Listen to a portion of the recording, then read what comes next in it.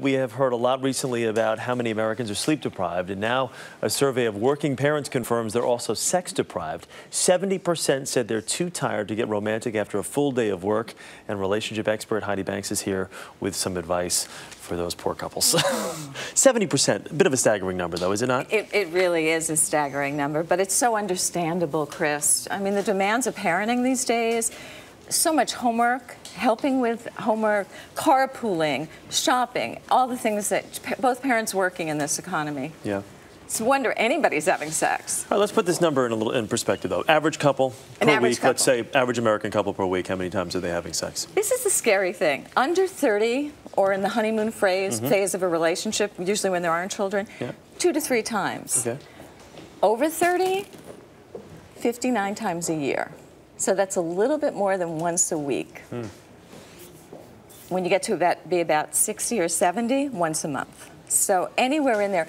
But you can't compare yourself. You can't get into a numbers game. Yeah. It's about connecting in a relationship. So if you're sitting home going, oh, honey, we're, you know, it's only 54 times and it's already, Yeah. you know, New Year's Eve and we're starting, you can't do that. Yeah. You've got to really allow your relationship to be what it's supposed to be. And I was going to say, it's got- a lot of it's got to be based on both personal preference, where the relationship stands. Uh, I mean, there are a number of factors that are involved. We want to keep that in mind. The phrase, though, that we keep hearing, though, is "I'm just too tired for it right now." Um, Are you hearing that a lot more in your Oh your, my your studies? God, yes. And research says there's really three things that affect um, whether or not you're having sex in a relationship: health and hormones. Mm-hmm. You know, obviously, as you get older, your sex decrease, your sex drive decreases Yep.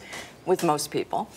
Uh, how tired you are is number two out of, out of that whole list, and even more important than that, how happy the relationship is. Yeah. Are those the, the, real, are they the major factors for married couples that you're Absolutely. seeing If you're not over? happy in the relationship, you're not having a great sex life. If Yeah. you're exhausted, you're not having a great sex life. If you're not healthy, you're not having a great sex life. But you can't use that as an excuse. Yeah. Now, that's the other side of the coin.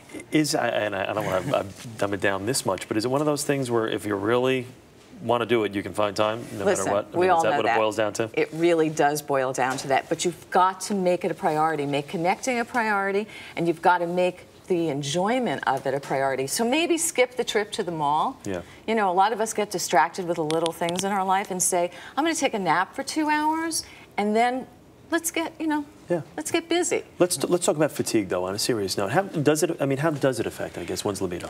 There's nothing that stresses you out more than not having enough sleep. And if you don't have enough sleep, your libido is low. That's just the bottom line. But on the other side of it is if you push yourself to have sex, it does energize your libido. So it's one of those two sided coins. Yeah. Is this kind of I'm too tired to do it? Is it the modern day I've got a headache? Yeah, I mean, when I hear that from couples and individuals, you've got to look beneath it. It's always the issue beneath it. Like, what's really going on here? Have you connected? Have you taken the time as a couple? Are there other stresses coming into this relationship? Yeah. Because you just can't use that excuse. So, what tips would you provide people who are in this kind of funk right now? The 70% of married couples who just don't have sex anymore. Well, if children are, it's and these are, and by the way, it is married people with children. Mm-hmm. So get up a half hour earlier. You know, get up before the kids Yeah, and make it a pattern a little, priority. yeah. Yeah. You know, we always think of sex in the evening and we're exhausted. Get your good night's sleep. Wake up a little early in the morning and start your day that way. Again, reprioritize your relationship. Make connecting a priority. And number three, the most important thing, make you a priority and get more sleep. Yeah. We always make the kids the priority. It, a good marriage makes the couple the priority. And when you say connecting, making that a priority, you're just talking about just basically getting to know each other once again, huh? Just kind of having that, that one-on-one interpersonal exactly. connection. Exactly. You know, I, I remember growing up, my father used to say to my mother, hey, we're going to go away for a few hours. And he would turn to us kids and he'd say, this is our time. Yeah. And we knew what that meant. Go play. don't we, come back. We knew it wasn't time to go buy school supplies. Let's put it that way. It was a time for them. So really, and again, exhaustion. Get more sleep. It will.